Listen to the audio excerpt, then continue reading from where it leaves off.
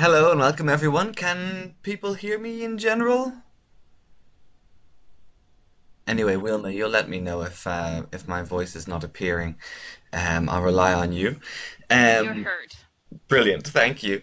So we have some really interesting speakers coming up. Uh, we're going to try and keep it um, rapid.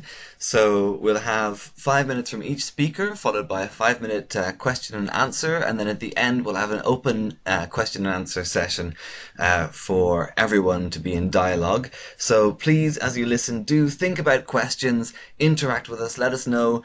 Uh, even if you don't have a question, what you're thinking, feel free to uh, applaud and cheer the speakers as they go uh, in the chat box as well.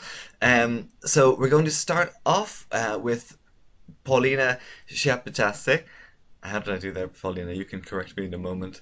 Um, uh, who's from the, our EU uh, Transurban EU China project, and she's been looking at this um, subject of land policy uh, in Europe and in China, and um, trying to analyze where where well where both sides can improve, but especially where Europe can help um, China rethink its policy. And then we'll hear from Alfredo uh, Corbalan, who is doing land policy in Brussels. Um, and he's going to share some of his own insights uh, working at city level. Um, and then we'll hear from Dáithí Downey, uh, who's also working on land, land policy at city level uh, in Dublin, where I actually find myself by coincidence uh, these days.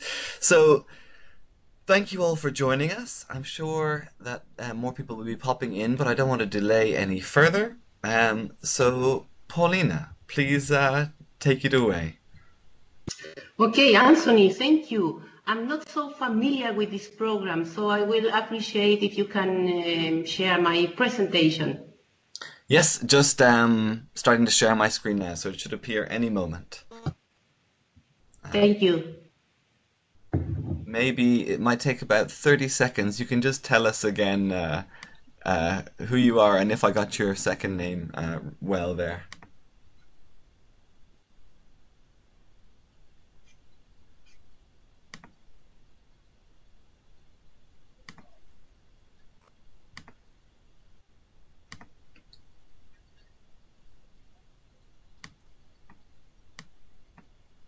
So I'm just opening this up now. Um, Paulina, uh, did I manage your second name okay? Can you say it for me?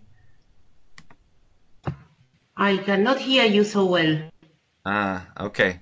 Well, I can hear you at least. Um, so you should now be able to see your slides, can you? Yes, Fantastic. but I cannot open my file. Oh, I I have your slides up on the screen, so hopefully everyone can see them. Wilma, do they seem to be appearing for everyone or for you? Yes. only? Yes. Okay, brilliant. So you can just tell me when you want me to uh, plop ahead on the slides. Mhm.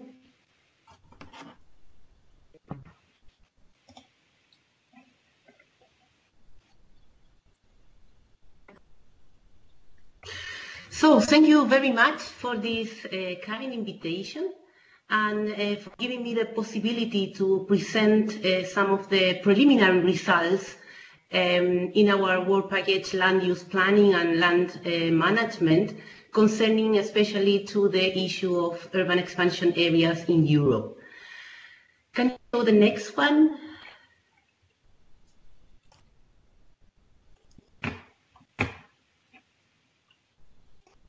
Yes, and I would like to start this uh, presentation with, with this very interesting uh, graph where you can see the situation of urban sprawl in Europe between the year 2000 and 2006. And in the red um, bar, you can see the extension of economic sites and infrastructures, while in the blue one, the urban uh, residential sprawl. So we can see that almost uh, all countries uh, are affected by that, especially the European suburban areas. And uh, it is a major challenge. Even the European uh, Environmental uh, Agency uh, name it an uh, ignored challenge, but um, it's a major issue to tackle on the way to sustainable um, land uh, use in Europe. The next one, please.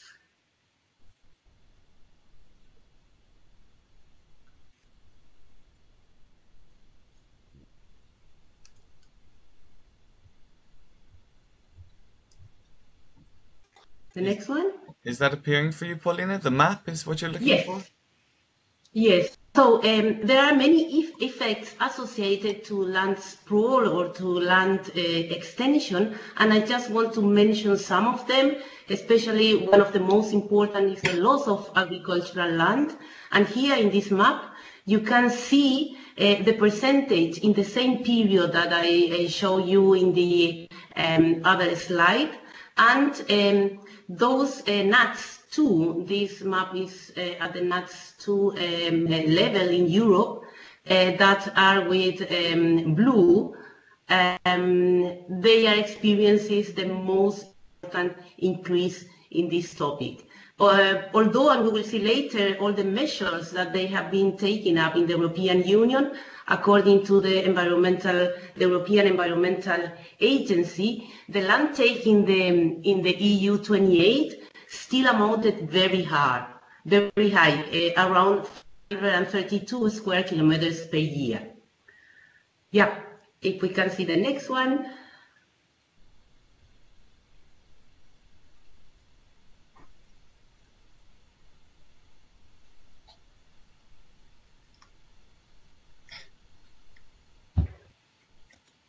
Can you see that okay, Paulina? No, I cannot see the next one. I think there's just a slight lag, uh, uh, so it'll take a, a minute to maybe appear for you. But um, if if you want to go ahead, I will try and keep us up with the slide. So this should be appearing shortly for you.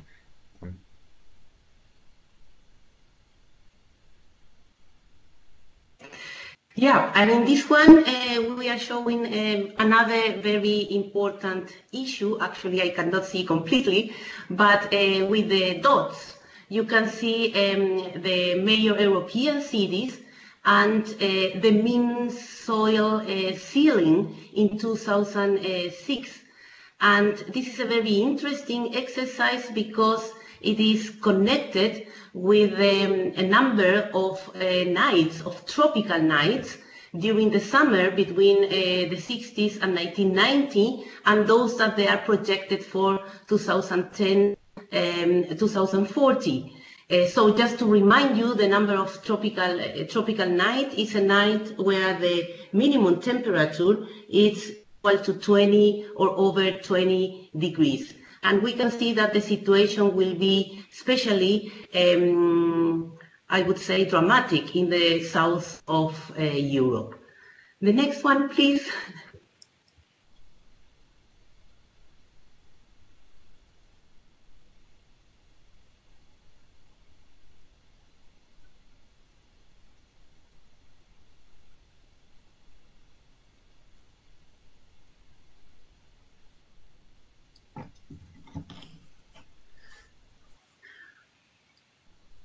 Well, as, as I said before, the European uh, Union, since more than uh, 20 years, is um, trying to tackle the issue of urban sprawl. And in this slide, we should uh, see in some moment the different um, activities that have been uh, conducted to uh, tackle this issue. So, um, we are talking about the Leipzig Charter, the um, uh, Anthony, I cannot see it.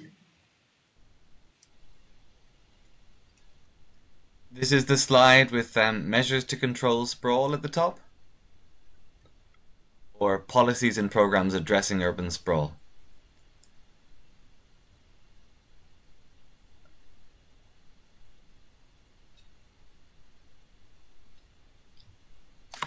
Um, can, can you hear me okay, Paulina? Yes, I can. Okay. So it's you're looking you the slide is policies and programs addressing urban sprawl in the EU, is that right? Exactly. Yeah, and you were just at Leipzig Charter. So that's what I've got up on my screen. Can you see anything at the moment? No. No, but you have the presentation. Um, I mean, you have your own presentation. So maybe if Yes, if I have it. if you just follow this your own true. presentation, and then I'll try to keep us up on on uh, on the. Okay. Okay. So the, the different policies and programs that they have been addressing urban sprawl in, in, in the European Union, they started at the end of the 90s uh, with the spatial development perspective. Then it was a very important contribution, the European Landscape uh, Convention, the Leipzig Charter, very important for cities because it's uh, definitely providing guidelines for sustainable development, the Declaration of Toledo, the roadmap uh, to a resource efficient Europe, and finally the territorial agenda. So these have, these have been the guidelines provided by Europe, by the European Union, but of course uh, the different countries and uh, as well regions, they uh, use different measures as well to try to control sprawl. And the measures to control sprawl are divided between uh, those that are called traditional, the old measures, so where we have uh, land use zoning and the prohibition to, to, to start uh, an development like the green belts or the protection of rural land, especially used in the UK's, um, urban re- revitalization through taxes, planning or special agency. They have been the traditional uh, measures to control sprawl, but as well uh, in the discussion we talk about the new approaches, and these are connected with regional planning agencies, a, a new approach to urban revitalization that is oriented to improve the attractiveness of inner areas, restrictive planning rules, urban boundaries, setting target limits and benchmarks, and uh, reducing, for instance, municipal dependency on land local taxes, or even the change of size and functions of uh, local governments. In some cases, they have worked uh, pretty well, while in others, uh, we cannot say uh, the same. Even the green belts, for instance, they have um, worked uh, very uh, good in the case of the UK, but they didn't have the expected results, for instance, in Germany. Concerning the national level in Europe, there are as well uh, many different approaches, and I would like to highlight uh, two of them. So the Swiss uh, Spatial Planning Act is an act that is very similar to the German and to the um, uh, Austrian approach, that the expansion of urban areas is only possible if an evaluation demonstrates that there is a need in, um, uh, in uh, urban expansion. And as well, uh, although I have not seen any official um, uh, report about um, the success of this measure, the German National Sustainable Development Strategy, that uh, it was um, implemented in 2007, and it was expected that by this year, um, the land uh, take for new housing and infrastructure development shall not exceed the 30 areas per day. Um, in the local level as well, uh, Europe has, and I'm talking about the neighborhood level, that this is the objective of our uh, project. Um, Europe has a long tradition in planning urban expansion areas due to the um, housing shortage after the war, for instance, or to environmental pro uh, problems during the beginning of the 20th century. We are talking about the garden cities, the British new towns, the French the Swedish Million Program, and the Dutch and the German housing estates.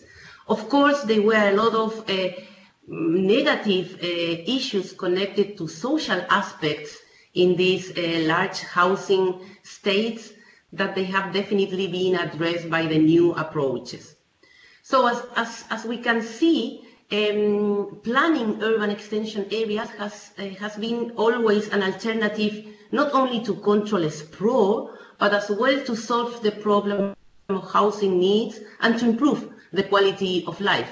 Additional as well to test, in many cases, new technologies.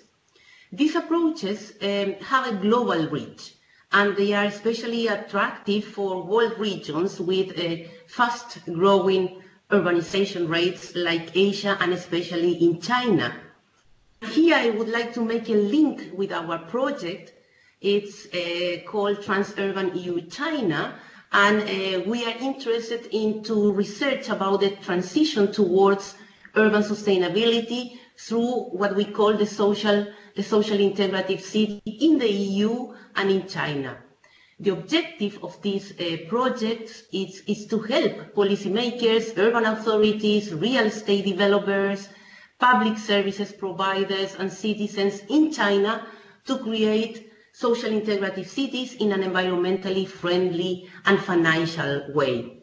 Particularly, um, my um, area of, of research is to identify these tools and measures or approaches that can support uh, the transformation, this urban transformation, in cooperation with stakeholders and citizens. So in other words, what has worked in Europe and uh, how this can be uh, transferred uh, to Chinese uh, cities. In terms of uh, a methodological perspective, we made uh, an scanning of um, the literature on good practices on urban extension areas.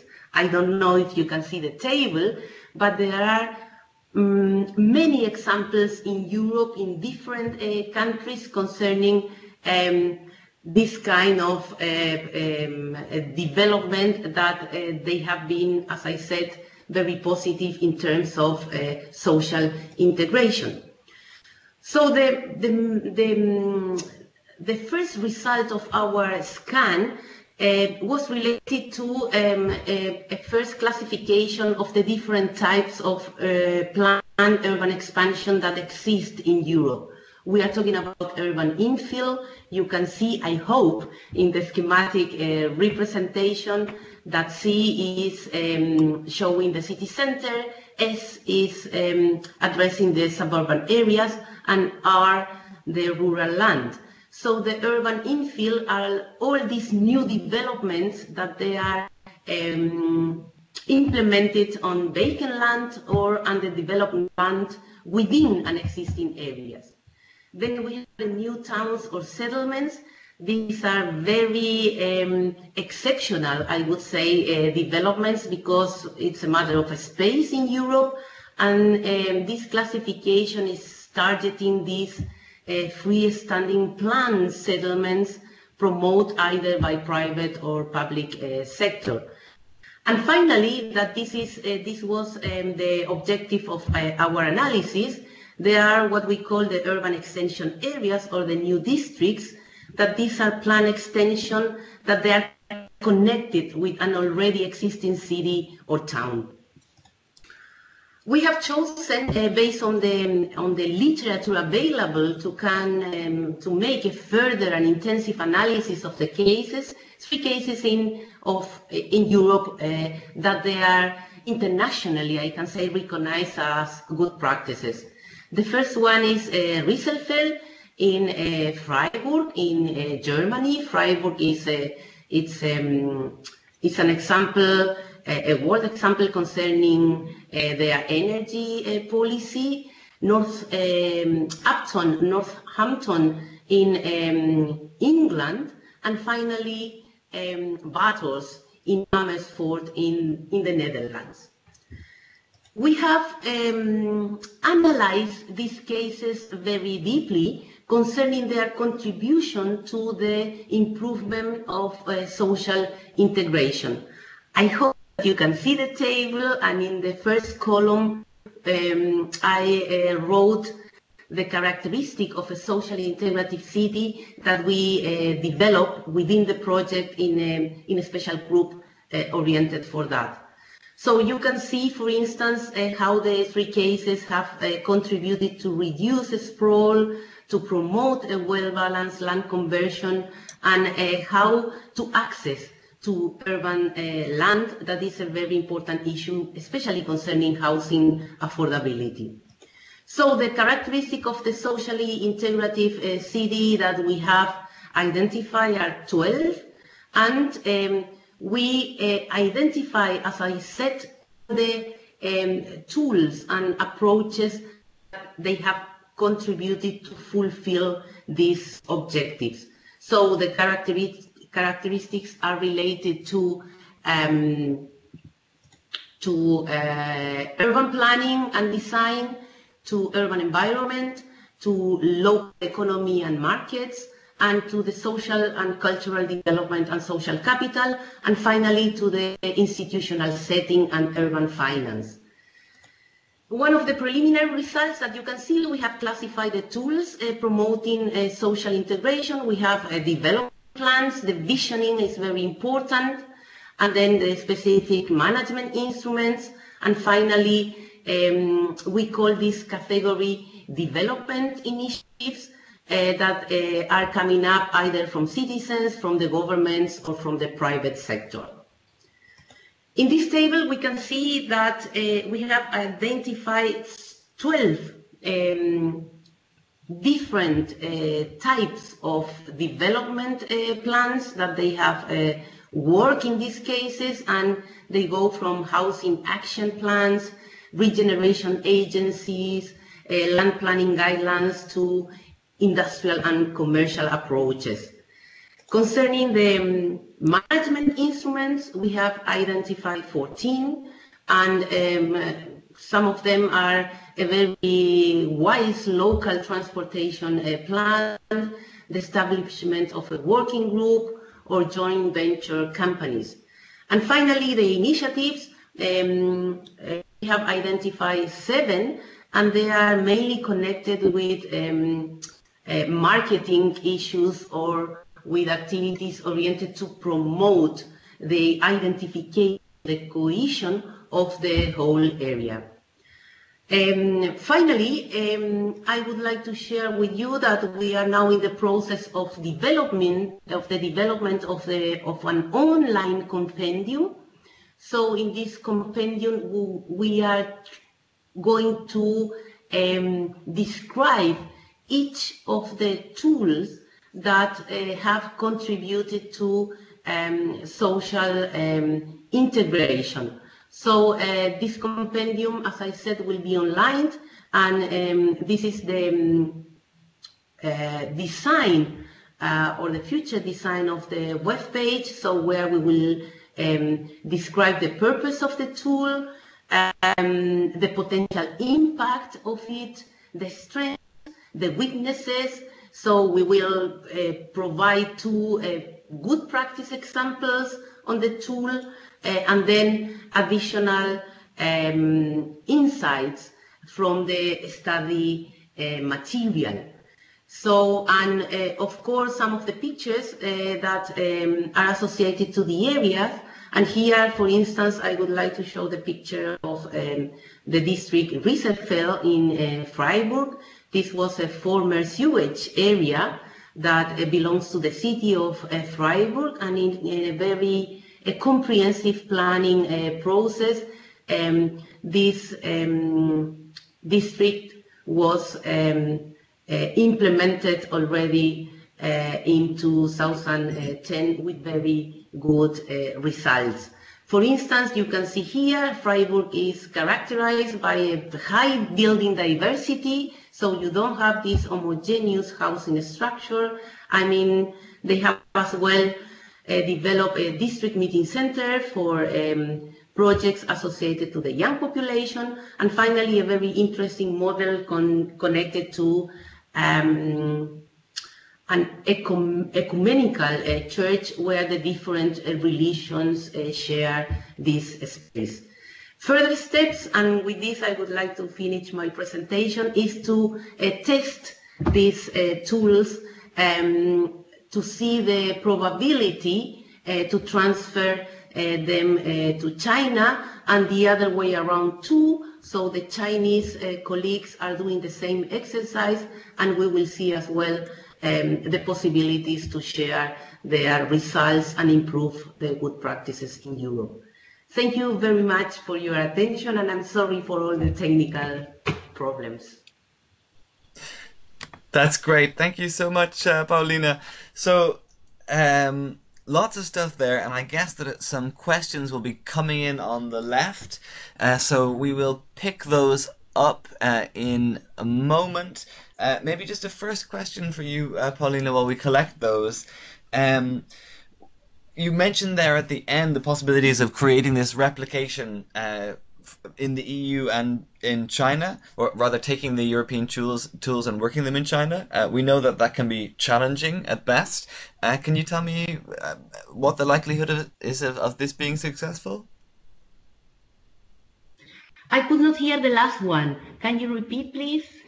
Sure. I'm just wondering about re replicating in China and how these tools are going to work in that context. I mean, will that are there specific tools that we have for this or? Okay. Thank you. Thank you for this uh, question. So replication is uh, it's always a very uh, complicated uh, issue.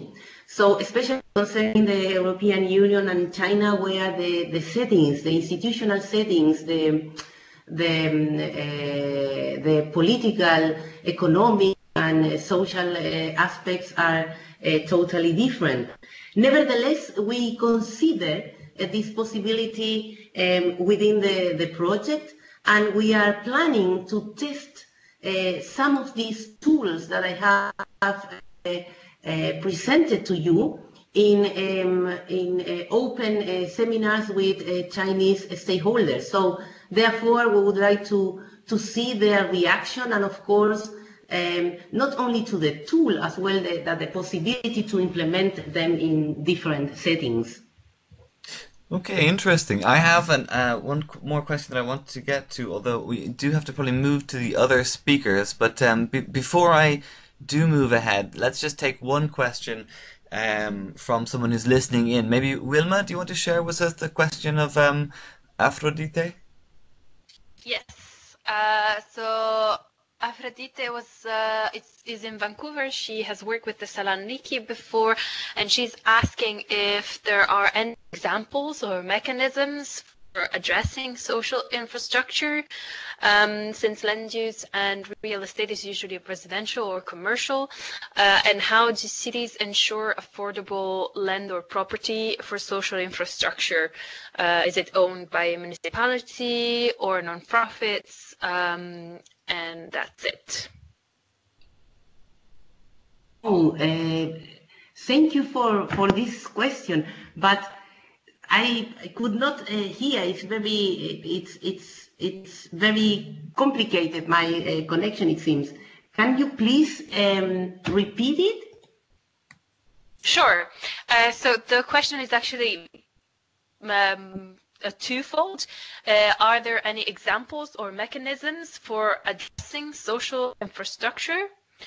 Uh, and how do cities ensure affordable land property for social infrastructure?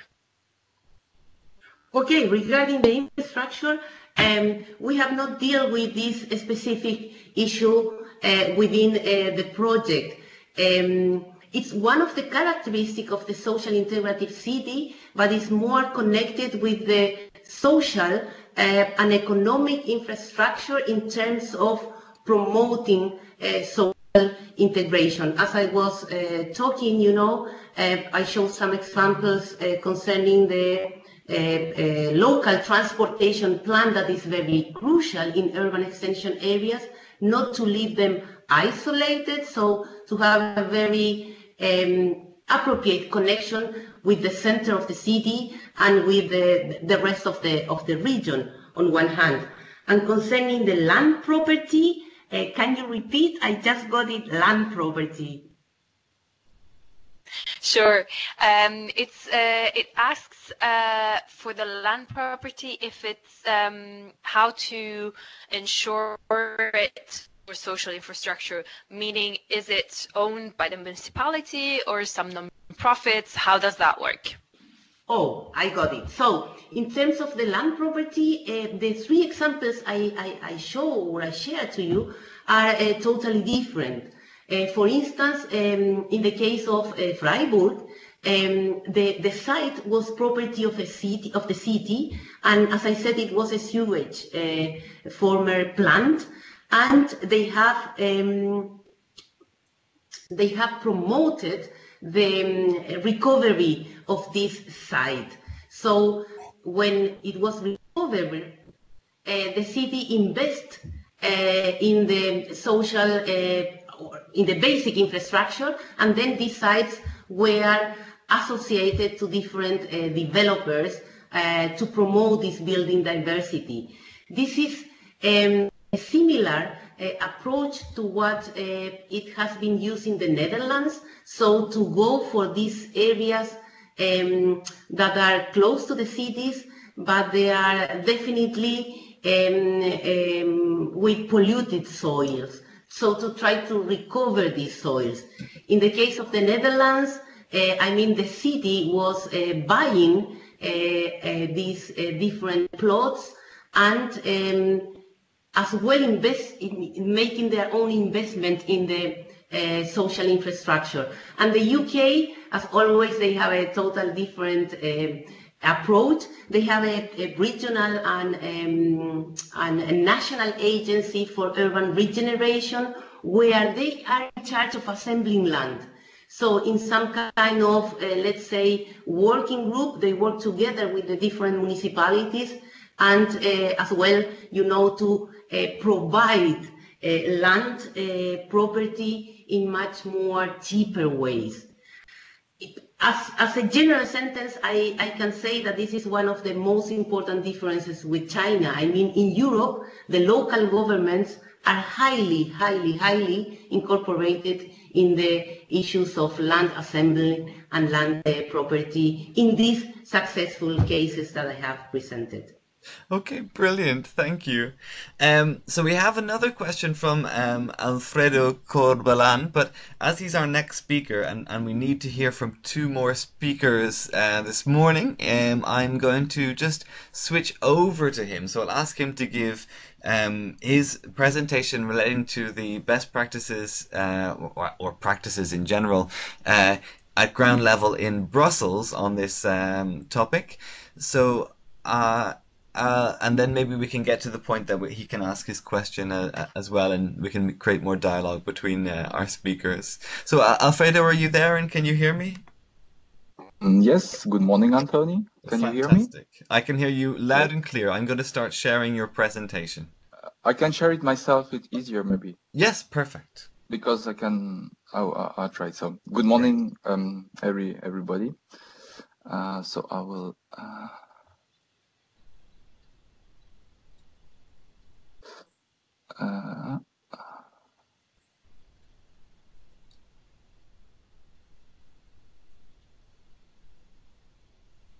Just a second, um, it's it's it's loading. Yep, great. Uh, meanwhile, I'll just remind everyone here that they're free to ask questions at any point in the chat box on the left, and it doesn't have to be a question either. They can just comment, they can just say how well everyone is looking this morning, or whatever they want to uh, input, they're welcome to at any point. So please keep that an active space. so it's charging. So yeah, I will start presenting so first of all, thank you, uh, uh, Anthony. Thank you to Eurocity for the invitation to participate to this webinar. Uh, I'm um, Alfredo Corbalan. Um, I'm working for the Brussels Capital Region, um, and uh, and uh, I'm uh, in charge of more exactly. I'm working for this urban spatial planning agency. Uh, of the Brussels Capital Region, where I'm in charge of uh, international, European, and interregional uh, cooperation project. And um, and yet our um, just it's it's taking quite time to load. Uh, I don't know why. Um,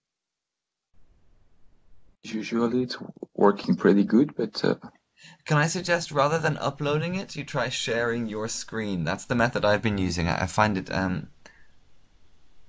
Yeah, that's what I, I have been trying to. Ah, you're sure? Okay, uh, pardon me. Um, yeah, I, I, yeah, I try to share, but uh, yeah.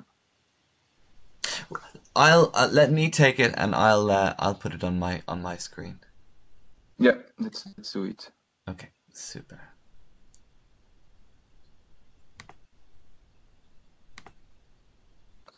So I don't know how to stop it. can you can you should be um okay you I should you started okay using my power to override your uh, All right.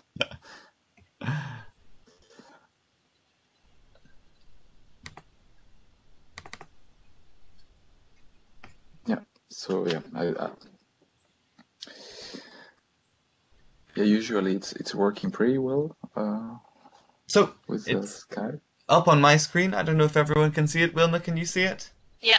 Okay, fantastic. So it- maybe you'll have a lag as well, uh, Alfredo, as Paulina did. But um, if you go ahead and present, I'll just keep up with you. Okay, because I don't see anything. I have Perspective Brussels on the screen, and Wilma Wilma tells me that it's visible. So Okay, all right. So it is visible. I will do it without seeing anything, which is a bit uh, difficult. Uh, well, I suggest because Uh, Paulina had the same issue, so I suggest if you follow the presentation on your own computer, and yeah, I will. I will do that. Yeah, Perfect. yeah. So I will. Uh, I will follow on my own computer. Super. Uh, so yeah, so um, yeah, Perspective Brussels is a bit to, to, to link with the previous uh, speaker. Yes, we are uh, this kind of tool um, um, urban planning agency uh, that was created uh, in 2016 uh, by uh, the regional authority in order to gather in one in one on. Um, agency, different disciplinary, uh, going from the uh, uh, statistic institute to knowledge departments, and uh, uh, also uh, um, spatial and uh, strategic planning. Uh, together with also regional architect. So in order to have, uh, let's say, uh, um, uh, agency where uh, you can um, better know the city of today to plan better the city of tomorrow, to, to make it shortly. And so uh, that's the uh, perspective Brussels in, in, in a nutshell. Uh, next slide, please. hmm Uh, so uh, Brussels is located in um, in the uh, in the northwest uh, Europe. Um, you can see uh, northwest Europe. Uh, uh, it's a very dense uh, area made of different metropolises interconnected, uh, uh, uh, like uh, for Brussels, Antwerp uh, in. In uh, in in Belgium, uh, Amsterdam and Rotterdam in the Netherlands, the Ruhr and, um, and Cologne in, in Germany, and Lille in, in, in France. So altogether, this uh, big uh, agglomeration of metropolis, it's uh, around 50 million inhabitants. Uh, next uh, slide, I have a map. No, you, normally, I have a map on of Belgium on the first slide as well. So. Um, so Brussels is the capital of Belgium. Um, Belgium is a federal state, uh, so there are three regions. Uh, in on blue north, it's uh, Flanders region. On red on south, it's a, Wallonia region, and in the middle, the the teeny dot, it's a Brussels capital region. Uh, what is important to know uh, concerning uh, what we are talking today is in Belgium, spatial policy, land use policy, housing policy, and also public transport policy are a matter uh, which where the region are competent. Uh, the national level has no competency in, in on these uh, policies, so the region are free to adopt their own policy, to adopt their own tools, and uh, develop the strategy they want on their own territory. So that's something very important. Um, to, to, to know for, for um, as part of the context. Uh, so uh, I don't know if we are still on the on the um, same slide, which is slide three. Then we, we have we see the region of Brussels with the border. Uh, you can see uh, that Brussels is a uh, urban uh, region. We have some farmland on the west part, some also uh, forests on the south part and, and big parks, uh, but we are mainly uh, um, urban and we are composed of 19 municipalities. next slide, please. That should be Brussels in figure, if it's correct. Uh, yes, so we uh, our, our, population is 1.2 million inhabitants uh, registered, but as you can see, we also have a big commuting flows because more or less almost uh, half a million of people are coming every day uh, from outside Brussels to Brussels to work or to study. Um, in terms of uh, density, uh, we have quite a disparity of density between more central neighborhoods with higher density. You can see the figures, and uh, and uh, more neighborhoods on the on the more outskirts area of the region with very low density. Next slide, please. We should see the land. Um, land. concerning land use. Mm -hmm. Um, you have some comparison with Paris and Amsterdam. We are quite small. Uh, the territory is 162 kilometers square, so quite small territory. Um, uh, almost 53% uh, is non-built, green area or, or, or, or water, and 47% uh, is the built-up area. Uh, in this 162 kilometers square, so we, I said 1.2 million inhabitants, uh, we face for, uh, let's say for, uh, for European standards, uh, um, a big growth of population the last 20 years. We went from, from um, a city losing inhabitants in the 80s and 90s to a city with a growth of inhabitants in the last 20 years, in total 20% of new inhabitants. Uh, the forecast for the next 20 years are, still to increase, but uh, at less speed, uh, with a total amount of 6% of new inhabitants in the next 20 years. So this, uh, let's say, uh, demographic boom was a reason uh, to develop a new strategic plan for, for the region. Next slide, please that uh, this strategic plan was started uh, a few years ago and it was finally adopted by the uh, uh government, uh, regional government two years ago in July 2018. It's the uh, strategic plan for the region, mid and long term. it's not a binding document, so by law, but it's a document important because um, he developed the, the, the, vision of the of the city, the vision of the public authority. It gives a framework. Uh, uh, all the, for instance, the different thematic plan have to take into account. If we take the mobility plan or the uh, environmental plan, uh, has to be uh, in accordance or taking into account the main strategies. Next slides, please. Um, there are some principles, of course, you can see them. Uh, maybe I, I just uh, take one, which is important relating to the topic of um, how do we see the urbanization. Uh, it's the um, multi-scale and polycentricity. Uh, what we want to do with that, it's uh, we would like to, to develop uh, more um, the city of short distances.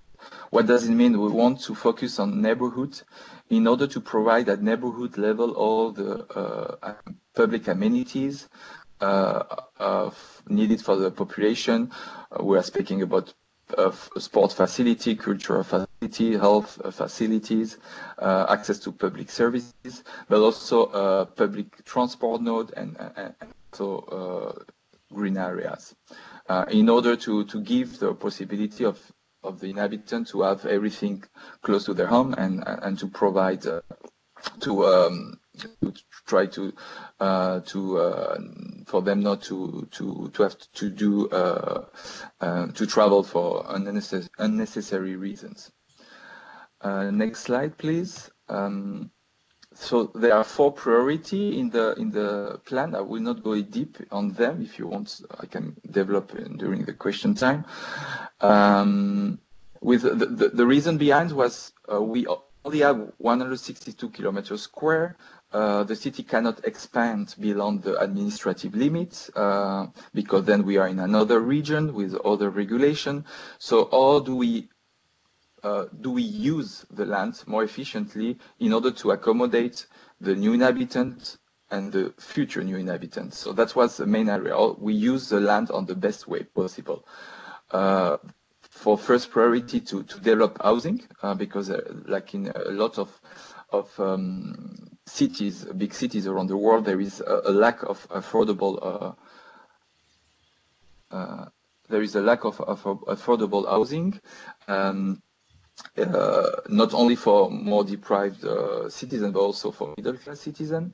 Um, and th th for that purpose, there is a creation of new uh, mixed-use district uh, plan.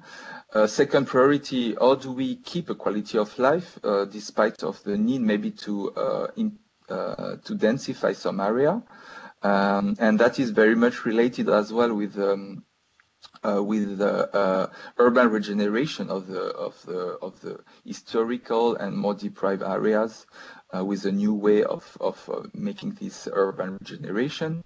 Also, the protection of environment, of, uh, of um, and the development as well of uh, urban farming, for instance, or circular economy. Uh, the third priority is uh, um, urban uh, related to economy. Of course, we want to keep being an international city. We want to keep being a city uh, very much into the service and knowledge society, but uh, which is quite new, we want also to be a productive city, keep uh, producing things in Brussels and not only services. And that I will like, show you an example at, at, the end of my presentation of how do we do that. And finally, uh, mobility. Uh, the clear message of the plan is to shift uh, to more eco-friendly and more active mobility pattern and to reduce the use of private car in the city. Uh, for all that, of course, we we need uh, some uh, tools, some policies, uh, also some uh, way of uh, governance. talking with our neighbor region, talking with the inhabitants, talking with the municipality, and to finish, I will in the last slide, I will show you these slides show the the different uh, the 60 priority development zone uh, for the development of, of, of Brussels. Uh, this zone are um, the zone that are important uh, uh, to, uh, to implement the, the four thematic and to develop. some zones, they are very different. Some are former brownfield, other zones are uh, for um, zones which are actually uh, monofunctional for offices uh, and other zones are zones that need to have more um, work uh, concerning uh, urban regeneration. So they are, they are very different. Um, the first one I want to talk is the canal zone with the arrow in the middle. Uh, the canal zone, uh, it's um, uh, it's used to be the industrial area of, uh, of uh, Brussels during the Industrial Revolution in the 19th century till the mid of 20th centuries. So it's uh, an area which has a past of of of uh, production of industrial production, also an area that welcomed the newcomers and immigrants uh, for for years. And what we want to do uh, there is to to develop, of course, housing, but to keep a mixed city of uh, social uh, diversity. We don't want, um, uh, we want uh, to different kind of people to keep living there. Uh, we don't want to avoid gentrification, and we also want to uh, develop and redevelop a productive city uh, and productive uh, economy uh, for making products. And for that, we adopt a canal plan a few years ago. The regional government adopted a canal plan, which is not a master plan, which is a flexible tool uh, with the aim to uh, all all project developed there in this area have to be mixed, have to have an intensity of the use of the land, and have to be integrated in the in the in the context with special attention to qualitative public space. That's why we also added recently um, a public space plan uh, in order to have a more uh, homogeneous uh, uh mm, public space in the area. And uh, that was for the canal zone and the, the idea to have the productive city. And the last example is uh, the defense zone, uh, which is uh, um, an, an area uh, which is owned by the Ministry of Defense. The Ministry of Defense wanted to re, uh, to um, to redevelop the, this this this area after the that's the it formerly there was the of the NATO in this area that move away, and so uh, the minister, uh, the, the the area is bit, is uh, across. Uh, one part is in Brussels and one part is in Flanders. Uh, so what we did, uh, despite the fact we don't have a metropolitan cooperation body to tackle this, the issue of uh, urban sprawl at a bigger metropolitan scale, uh, what we are developing now is cooperation based on projects on zone with our neighbor regions. And so in this particular case, with colleagues from Flanders, um, we developed together one master plan uh, for the two uh, region um, that could be then implemented uh, by each region according to the process, to internal process.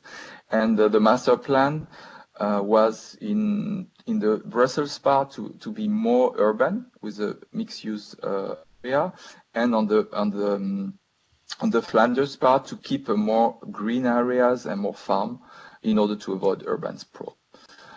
So um, that was a bit uh, quickly said uh, presentation about uh, how do we uh, our um, strategy in Brussels for urbanization. And that was great. Thank you very much, um, Alfredo. Really interesting. I have some questions of my own, and I see that we're getting some questions in the box as well. Um, However, I'm getting a little bit concerned about time because we had a few technical issues in the beginning which have pushed us forward. So I, what I think I'll do is, if Dáithí is there, Dáithí Downey, um, working in Dublin City on land policy, maybe we'll just go straight to him, and then afterwards, if people, if some people are able to stick around, it would be great. We could have uh, one or two questions. Um, if people have to leave, don't worry, we will be putting a recording um, of this up online, so anyone that uh, misses the last tidbits will certainly be able to uh, to um, get some insights that way. And of course, uh, it's always possible to contact our speakers directly as well if you want to email me um, about that. So thank you very much, Alfredo. And um, Dáithí, are you there? Ah, well. Let me see. He should be unmuted now. So, Dáithí, apparently you have sound, but I can't hear Hello? you. Ah, brilliant. Fantastic. Oh, okay. Right, here we go. We've got you. Good morning. Um, Anthony, may I ask you to put up the slides I sent you, and I'll work from your yes, uh, certainly your end. Child, I, I saw how happy Jerry you should be able to see that.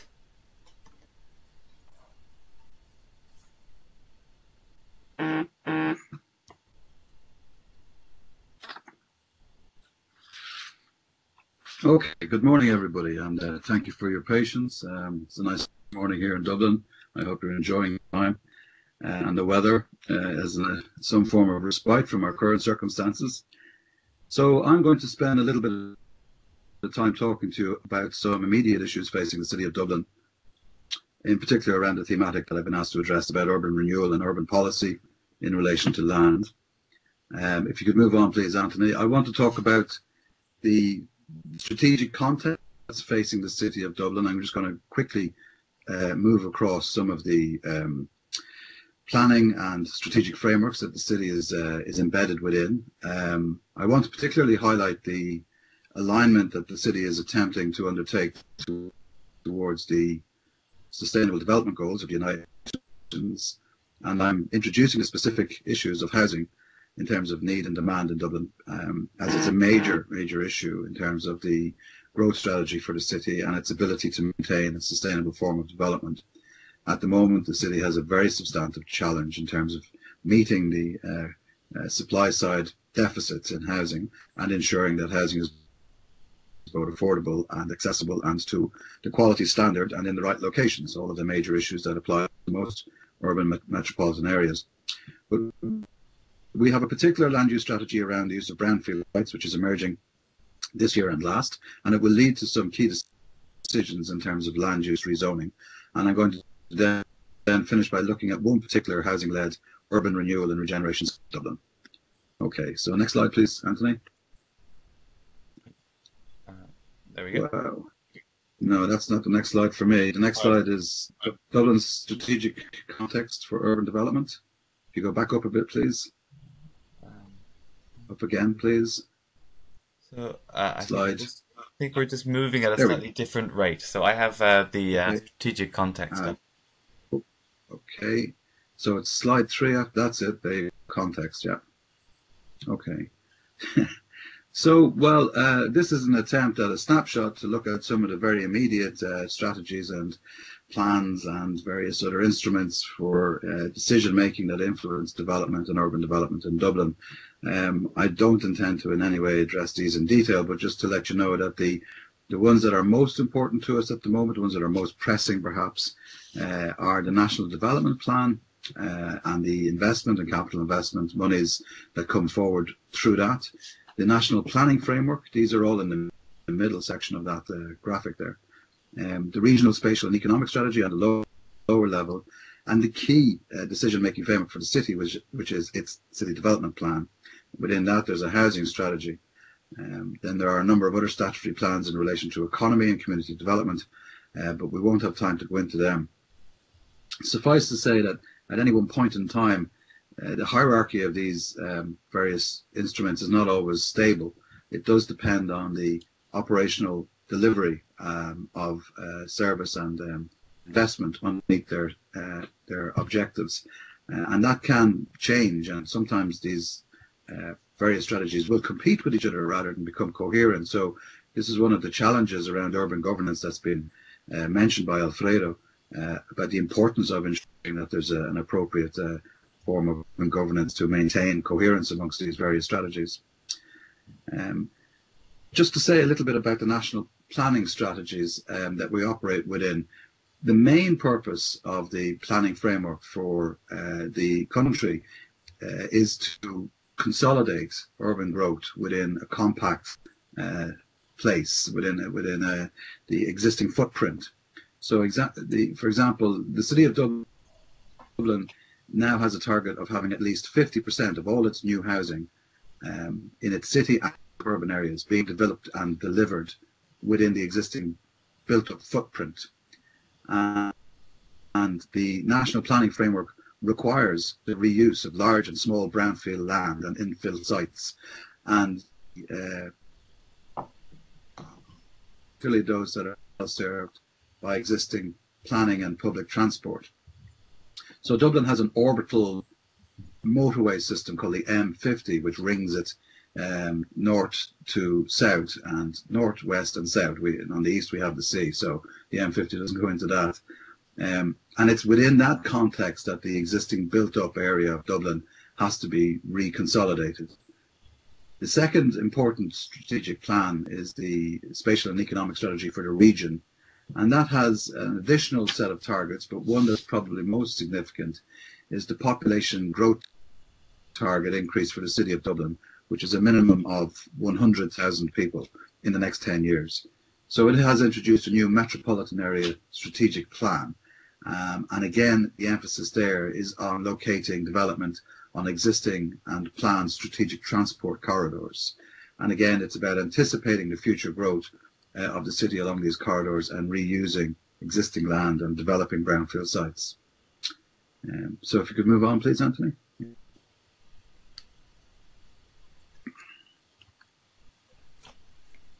So the next slide will uh, just mention the uh, alignment that the city is undertaking with the range of uh, 17 United Nations Sustainable Development Goals. Um, what we are attempting to do is auditing and assessing all of our strategic and statutory plans against the criteria required to measure what contribution uh, our strategies will make towards meeting these sustainable development goals. Um, as a matter of governance, this is beginning to make a very important contribution to um, the uh, development of coherence across a range of statutory uh, bodies involved in planning and development. Um, it's it's reasonably new, you might say, although the arguments are, are quite established. But the, the mechanism of doing this is reasonably new. So we have a local economic and community plan out to 2021, which will be fundamentally revised against um, uh, all of these uh, 17 um, uh, SDGs. And it is uh, the revision of that starts this year for adoption of a new plan next year. We have the city development plan, which I mentioned earlier. That goes into a formal review period at the end of this year as well, and the successor um, plan, which will run out to about 2031, will be fundamental in the delivery of a number of key issues around compact growth and sustainable development.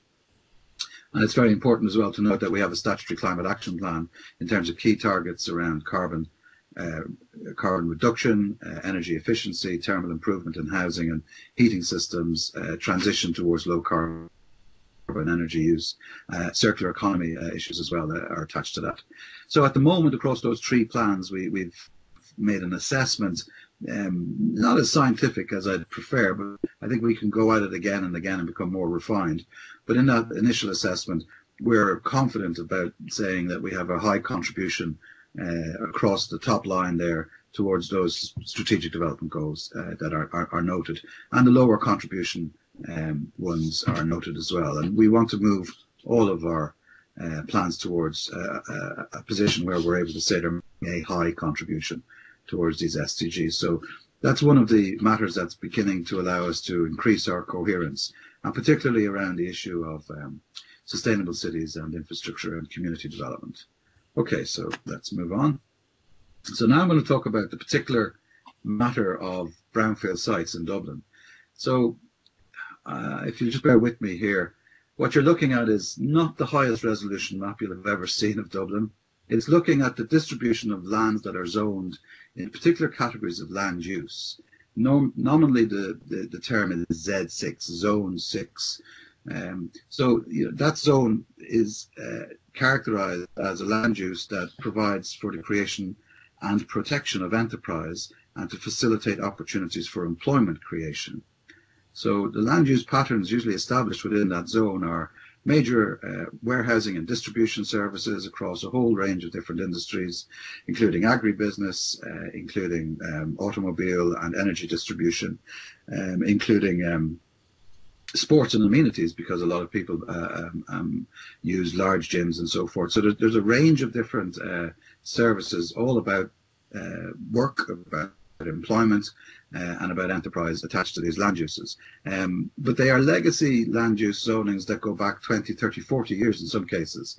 Um, and they're not as coherent, uh, sorry, uh, they're not as integrated, should I say, with the um, public land use um, system, the public transport system, and the modality shift that's required to improve public transport. Um, so we've we've undertaken a a, a series of reviews um, to consider how we might re rezone some of this land, and with the main emphasis being on the development of housing and the, meeting the housing need of the city in order to ensure sustainable and compact growth. There was a review of 82 different land banking areas across the city. They're all illustrated there uh, in a purplish pink colour. Out of that 82 sites, we ended up with approximately uh, 20 small to medium sized land banks that were identified. And those land banks are going forward for a proposed rezoning by way of a variation in our city development plan. And that's an ongoing discussion with the elected representatives um, uh, in, in the city.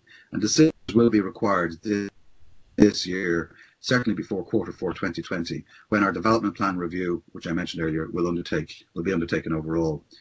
Um, so, so the main thing you're seeing there is an identification of land which has quite a lot of vacant and underutilized space, actually.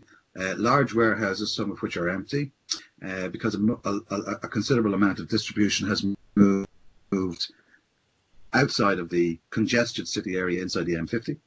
Uh, and uh, the context on the left is, is the confirmation of where the city sits in terms of its current provision for housing and residential development. So at present, we have 120 hectares of land zoned and suitable for residential development distributed across the city. But the majority of that land is already involved in some form of development in the current pipeline, either at design stage or actually construction. Um, and we do have a major challenge around how we secure residential land use in order to improve sustainable development the growth strategy that's been identified for the city. So as I mentioned, this review undertaken from last year and ongoing this year is identifying those industrial lands for potential recategorization underneath our next city development plan. And some of these lands are being identified for redesignation today, this year, ahead of any formal revision of the plan. About 45% of those Z6 lands are very large sites. Um, you know, around about 272 hectares of land is involved. And each one of those sites will need its own framework plan, and each of those framework plans will have to integrate uh, a number of different planning objectives around the large scale regeneration of the area based on the provision of housing and employment. So one of the major uh, challenges here is, is getting greater integration and coherence between places of work and places of residence so that we're not um, engaging uh, uh, people in, in the challenge of long-term or indeed increasing um, uh, private car use and, and, congestion and the various challenges economically and socially that arise from that. And, and Dublin, although you wouldn't know it today because of the, the, the, actual current lockdown, Dublin's a highly congested city and, and you know, it can at times almost come to a, a standstill, um, but we won't go into that just yet. Uh, so we will be making a number of recommendations throughout this year for, for changes. So I'm going to look at a few of these in, in particular, just to give you a flavour. So if you wouldn't move, mind moving on there, Anthony. Mm-hmm. Um, so the next slide, we'll, we'll just introduce uh, some of the uh, larger sites that we were, we are looking at, and um, there's an aerial shot of each of them, and they're, they're marked out in more particular detail on, on maps, which I can um, I can send on if you wish. So, for example, the first one is an industrial estate which comprises a, a, significant amount of warehousing and distribution services uh, on the north of the city. And it has a very substantive um, set of connections to the city via good cycling and walking connections. And it also has a public uh, light rail, or we call it Luas, uh, and also a heavy rail commuter service within the context of its environs. Uh, but its particular challenge here for the city is the fragmentation of the ownership of these units and these land sites. So we have a number of buildings which are owned by separate individuals, and the buildings sit on land parcels which are again owned by separate individuals. And a lot of the challenge here is in the assembly of the site and the coherence of those um, uh, site uh, units towards any future rezoning. And our challenge there in particular is to avoid any undue speculation and flipping of sites in anticipation that rezoning will make the land more valuable as it will be transferred from an empty warehouse built 20 or 40 years ago uh, into new forms of um, highly designed, um, thermally efficient, uh, adaptable uh, housing. Um, so there's a, a, particular challenge there to try and avoid, in, indeed on all of the sites we're looking at, any undue speculation in this particular area, we have a challenge around water management and the protection of the adjoining water bodies, particular river called the Tolka, and also the Royal Canal, which runs from the north inner city out towards the River Shannon, all the way to the west of Ireland. Um, we have a number of challenges around community and educational facilities in the area, and part of the area is, is subject to a, a, number of challenges around area deprivation and long-term unemployment.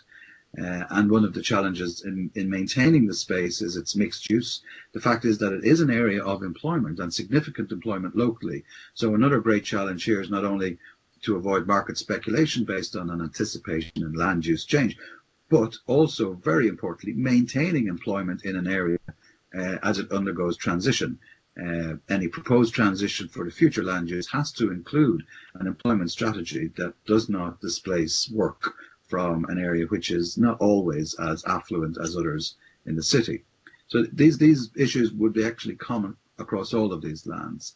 Um, the, the next issue, again, on the north side of the city, is the Finglas Business Centre at Jamestown Business Park.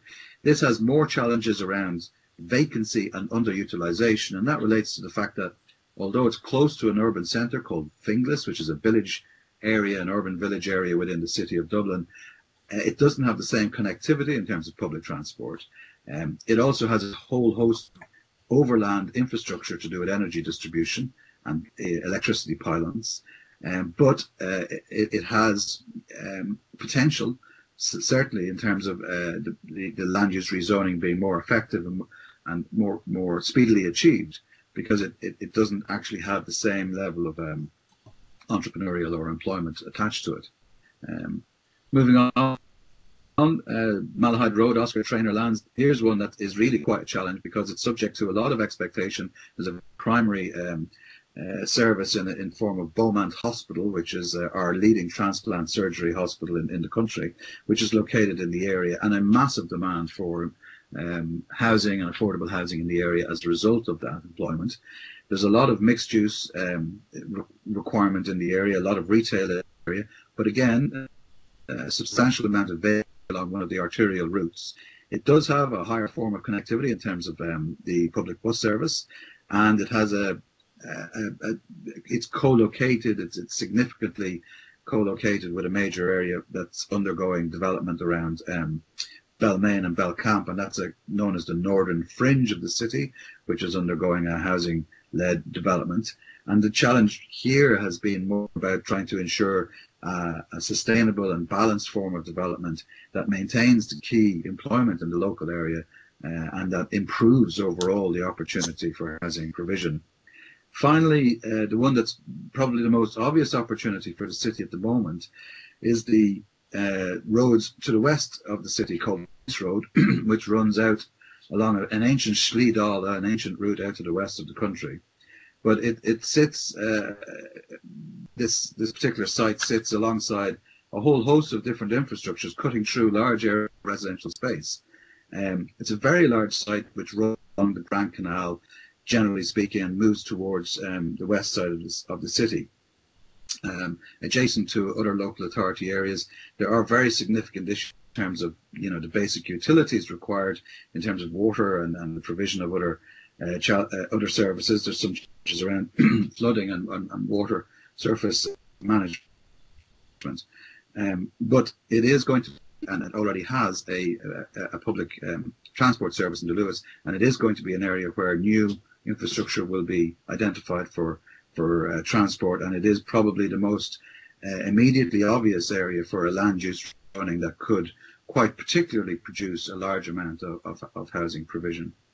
So common to all of these areas really are, are the needs to try and balance the overarching strategic objectives of compact growth and sustainable development while not interrupting significantly those areas of employment and maintaining a cohesion and an integration within the community. And this is really is quite a challenge. Of course, it, it refers back to the opportunity to develop space and, and, and, to make decisions around these spaces. So if you wouldn't mind moving on, Anthony. Um, so part of that is being able to bring an evidence base forward. Um, and one of the things that the uh, the city has developed that I've been leading on in the city um, is the production of a housing data navigator. So I've got time to go into this, but there's a link there on the top of that presentation to an online website which gives you an interactive uh, geospatial uh, mapping system, which gives a whole set of data uh, arranged uh, around a series of data themes from the administrative and contextual layers of the geographies you're looking at, right down to the land use zoning and the planning applications on that land, uh, and to a number of other uh, details around dwelling completions and developments, details around the uh, findings of the census and so forth. All of this information is expressed visually through a uh, online ArcGIS system, and it's a, a, um, it's a data navigator that's, that I'm developing in, in, in cooperation with Ordnance Survey Ireland and with the All Ireland Research Observatory at Maynooth. So if you wouldn't, if you bear with me, I'll just show you some screen grabs from some of the maps that you can uh, interact with. Um, if you wouldn't mind moving on, please, Anthony. Mm-hmm. Um, so if you could just perhaps go back up one. Um, yeah, okay.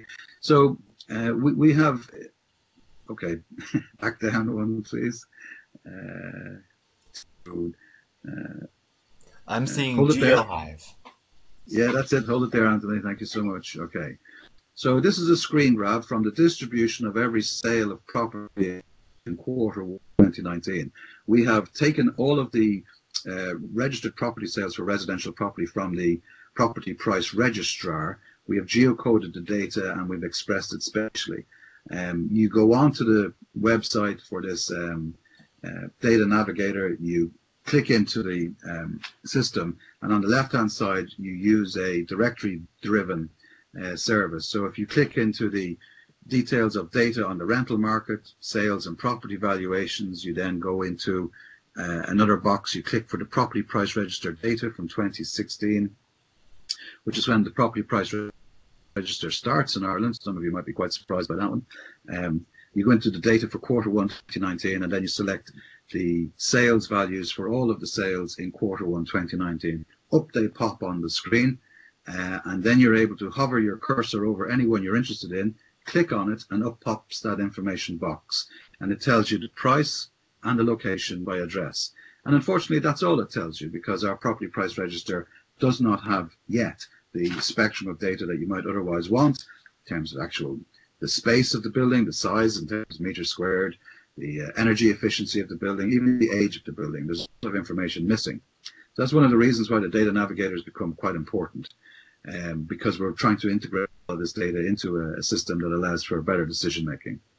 However, it's the first time it's expressing the actual distribution of residential uh, land, sorry, residential sales, and of course the, the land values in the area are reflective of the high residential values too. Uh, and you can, at a glance, you can see that distribution across the city. Um, so uh, if you could move on, please, Anthony.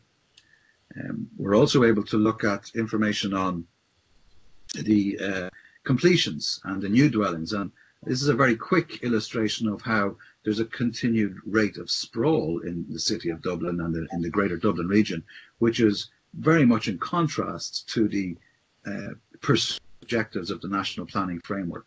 What you're looking at there is the new dwelling completions data from our Central Statistics Office, which has developed a new and coherent and methodologically sound uh, assessment of new dwelling completions. And you're looking at data there for the period from 2012 to uh, 2018, over that uh, six-year period, looking at all of the data completion. Now, this is a period of significant austerity um, in in Irish society and the economy, and the the collapse in investment in new housing provision, particularly state-led investment, is very very significant, uh, and it's one of the reasons why we have such a chronic supply side shortage. But for the new housing that was provided over that period, the vast majority of it was ex-urban. It was outside of the major com compact urban areas. Uh, again, you can go in there and you can look at the distribution of those completions against what's known as the um, Eircode routing key, which is a geography that allows us to identify particular quadrants of the city in terms of their housing provision. Um, if you go on to the next slide, please, Anthony. The data then you're looking at here in the next slide is data on tenure patterns. For example, you can go into the uh, data we hold on all of the Irish census. The last Irish census was 2016. The next one is 2021. We have a census intercensal period of five years, um, and we rely on the census data for a huge amount of information. A lot, of, all of it uh, in terms of housing. There's about 700 variables in relation to housing um, and place that we've we've mapped here.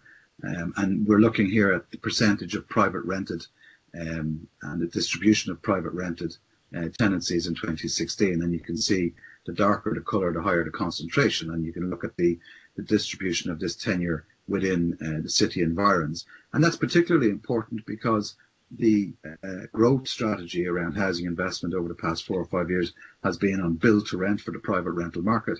And indeed, it's the dominant form of housing provision uh, over the last three or four years.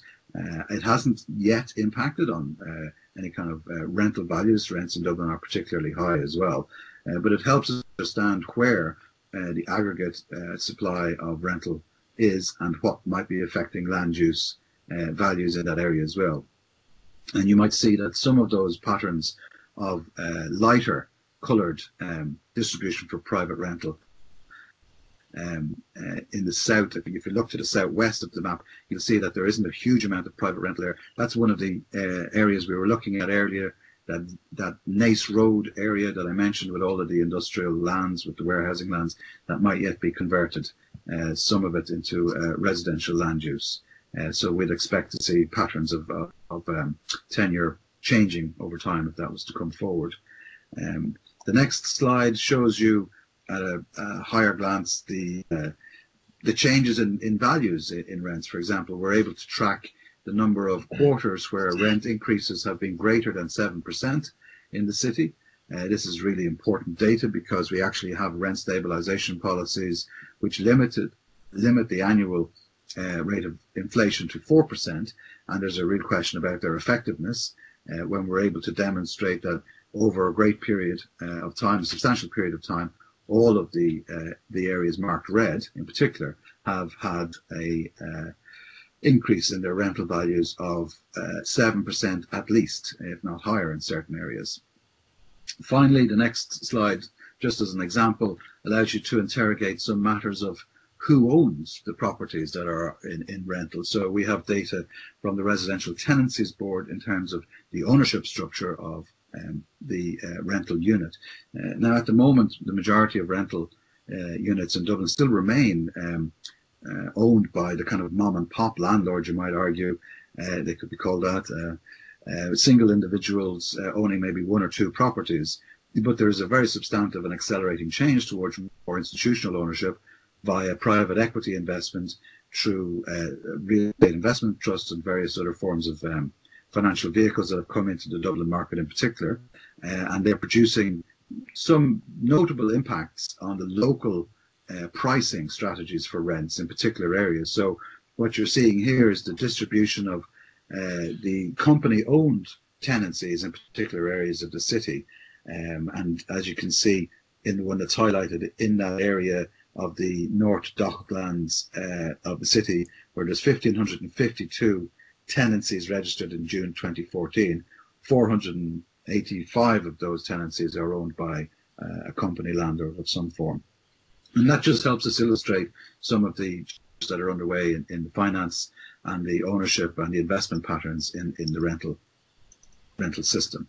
So what I'm doing here is I'm demonstrating the need to be able to bring this data to bear into the evidence uh, evidence space, uh, the, the, the, data informing your intelligence, the intelligence helping consolidate your knowledge, and on the basis of that knowledge, you're, you're producing an evidence-based argument for decision making towards obtaining your objectives.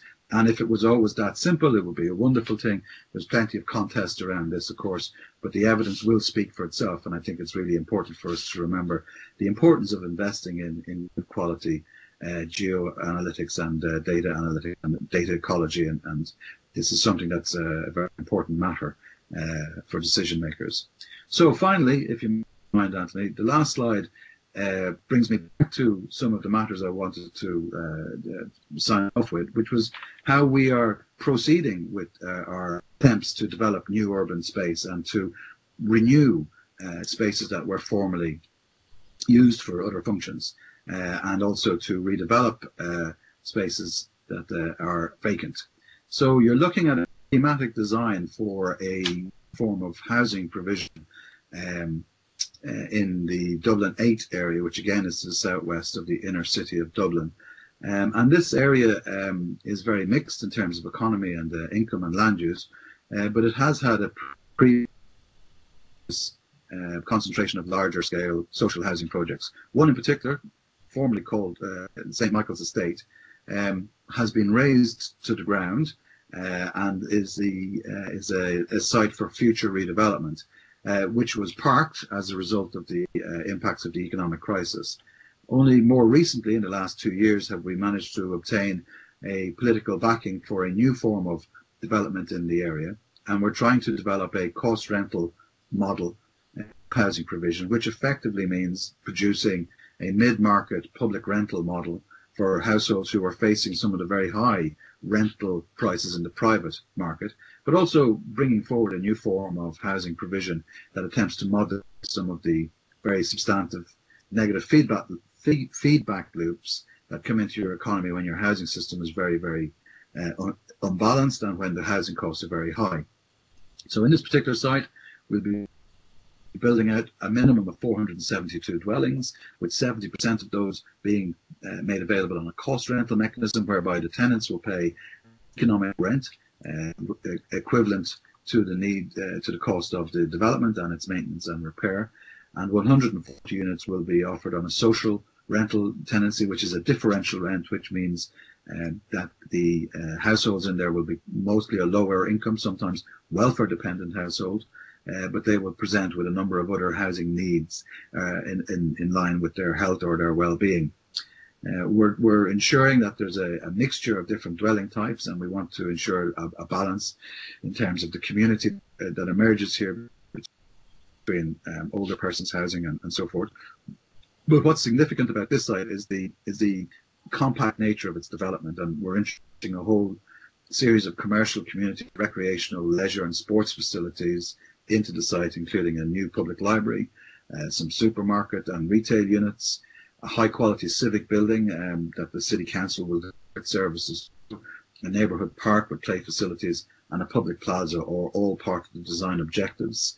Improving the mobility, the permeability, and the connectedness of this space through increased public transport, better cycling provision, better pedestrian routes as well. The objective is a high quality and vibrant mixed use urban quarter. We've got to the point where we're uh, established with our consultative forum and a whole series of stakeholders across enterprise, health, uh, well, community, uh, policing, uh, uh, various other forms of chambers of commerce and so forth, all involved in that. And we have a framework plan which is now completed and has been put out for a consultation, and I can send you a link to download that. The next stage that we're in this year is moving towards engaging an overall design team, uh, which will comprise architects, quantity surveyors, planners, um, designers, community development, the whole the whole shebang, and moving towards a final master plan, which then goes forward to a, a planning stage. So this will be a really good test of how effective we can make the overall strategic objectives of compact growth and sustainable development within the older areas uh, of the city, which are uh, in need of, of, a regeneration model, but one that is going to be very particularly focused on attempting to rebalance our quite expensive and our quite uh, challenging uh, housing system. Uh, so uh, I'll stop there. Thank you. Great. Thanks a lot, Dáithí. Um, and thanks to everyone who's spoken today. Um, I know we went a little bit over, so I apologize for that. But before I sign off completely, I might just see if some people are still, or uh, some of our speakers are still around. We have a couple of questions here on the left. Um, so maybe I will slip back to Alfredo for a second. I'll just put one question to each speaker before finishing up. So, um, Al, um, Alfredo, there's a question here from uh, Badia um, asking what are the main challenges that you think will face the implementation of the principles that you were talking about in, in Brussels? Um, if you're still there, Alfredo, do you think you could speak to those um, uh, Yep, implementation challenges? Yeah, I'm I'm still there. Uh, Fantastic. you can hear me? Yes. Okay, yeah. Uh, yeah, the challenge. Um, I think that's uh, uh, one part. It's um, uh, of course um, the governance uh, challenge. Uh, as I said, uh, I didn't I didn't go on it, but th- th- there is also a part in the strategic plan which uh, um, points out the the the the, the way uh, or to or to implement it. Uh, that's one part, the governance, uh, because we are one region with 19 municipality. Uh, we have a lot of layers, and and uh, and also, as I said, uh, we also have a, a dialogue with the municipality, a dialogue also with the European Union, which is also an important player.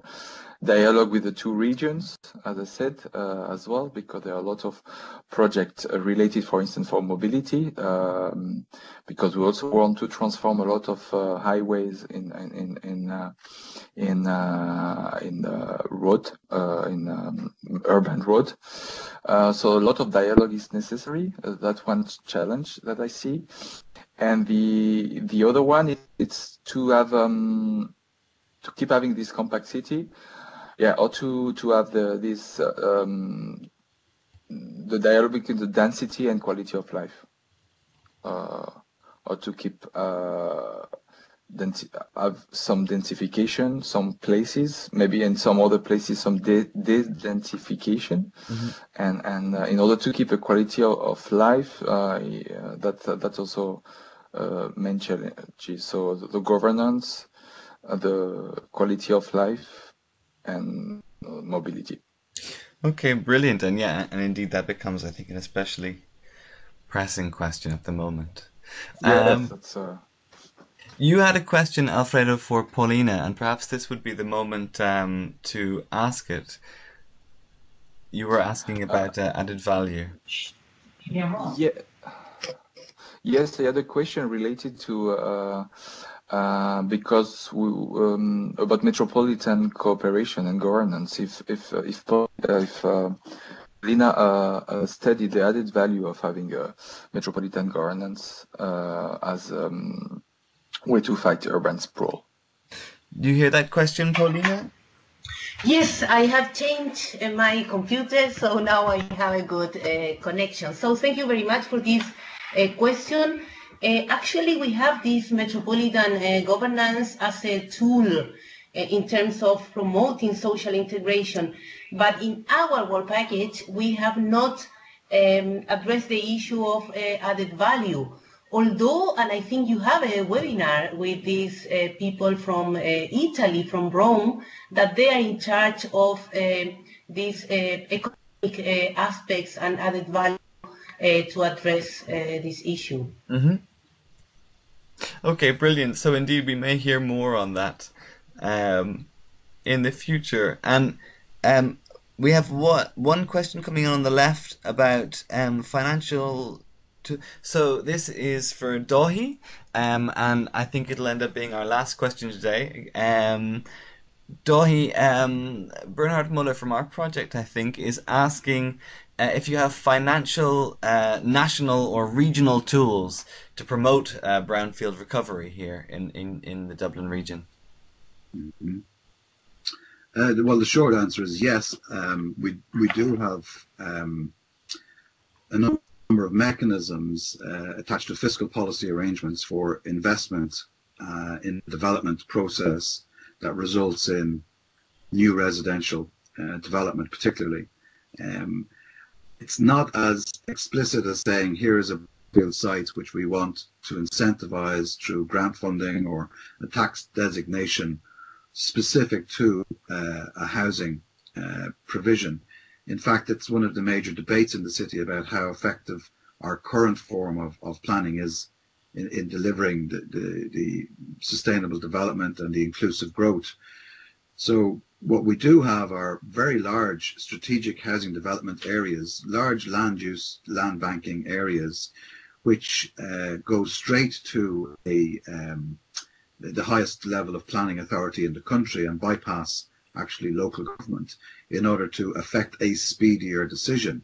And that speedier decision is a requirement that emerges from development interests in order to scale uh, and uh, increase the overall density and, and, and size of their development in particular localities, with the argument being that this increases their viability uh, and maintains the opportunity to improve uh, a, a, speedy supply side um, response to unmet housing need. Um, I think the ev- evidence on that is still out. Actually, there's certainly a very speedy form of construction and delivery and development once uh, uh, the uh, once the investment tap is switched on. But there uh, there are some substantial issues around um, how particular forms of investment are incentivized under our fiscal policy arrangements, um, and in particular around the equity-based uh, investment. But this very much relates to, if I may, the unpicking of the impact of the global financial crisis in Dublin through its property market and its property system and its banking system. And we, we still have very substantial challenges where whereby equity is not as available or is not forthcoming to particular forms of development, development or development interest. And there has been a greater reliance on the international equity markets outside of the Irish banking structure uh, to bring to bring investment in. So the short answer is yes, there are fiscal arrangements, there are uh, policy and strategic planning arrangements that have um, uh, tried to reduce the friction costs, as they're sometimes referred to, of development. But on the flip side, there are some serious concerns about the distributive impacts uh, and the overall sustainable uh, development uh, issues that are emerging from, from that type of speedy urbanism. Okay, got it. Interesting. Thank you, Dáithí. And we have um, a link sent there from Alfredo on uh, a little bit more information as well that you can check out. Um, I'll be sending the video of this um, out to all of the people who participated and those who signed up but didn't manage to arrive. And I'll already flag that we're planning um, a second iteration of land policy because there was a lot of interest um, for it and we didn't get to get uh, everything that we would like to certainly touch on and perhaps we'll even get a, a chance to go in more depth with our speakers of today but let's see if that's um, possible. So thanks again to all the speakers. Really, really interesting stuff. Um, diverse insights, but I think definitely um, a harmony struck there in terms of what we're thinking of as important, the direction that we need to move in, and uh, some of the steps that uh, that we're taking to get there. So on that hopeful note, um, thanks again to the speakers and thanks to everyone who joined in. All the best. Bye. Thank you.